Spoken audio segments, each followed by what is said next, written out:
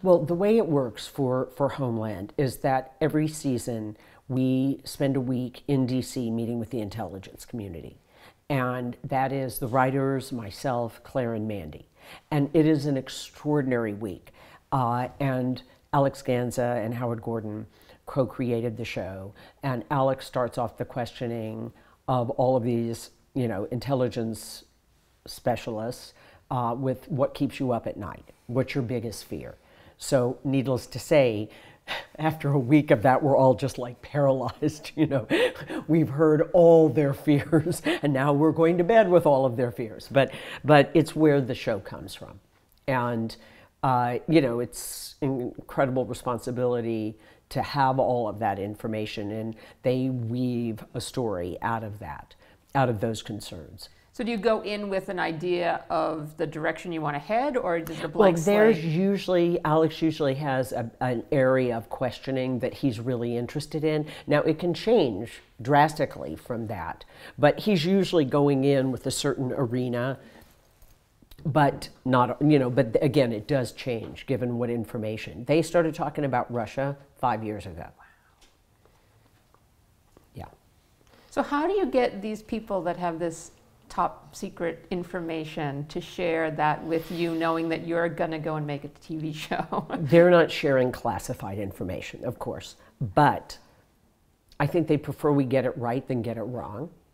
And they think that we have the idea of dedication to mission, they think we get right. Um, and you know, we always meet with people on both sides of everything. We don't meet with just liberal or just conservatives. We meet with everyone. In fact, we've had situations where we are meeting with someone that despises the next person coming in. So we have to get one person going in the back door and one person coming in the front door so they don't see each other. But you know, we have met with extraordinary people who have really been generous with their insights about what's going on in the world. And I think it's been very reflected in the show. Has that trip changed in tone at all since the new administration? yes, yes. Uh, I think it has because, so we just did a panel in DC.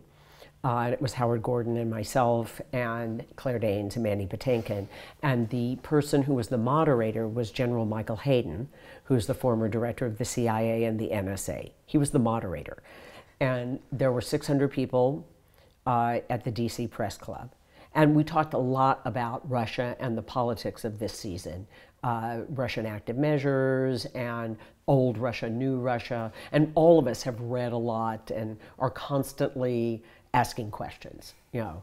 And um, so, you know, honestly, my feelings about General Hayden have changed drastically from the first time I met him five years ago to how I feel about him now you know, and so I think what's happened now in this post-truth world and this world of fake news and real news and you know the truth being this kind of you know amorphous thing is that the intelligence community you know which believes in fact has now become allied with the intellectuals and the artists and the journalists because they're fact-based.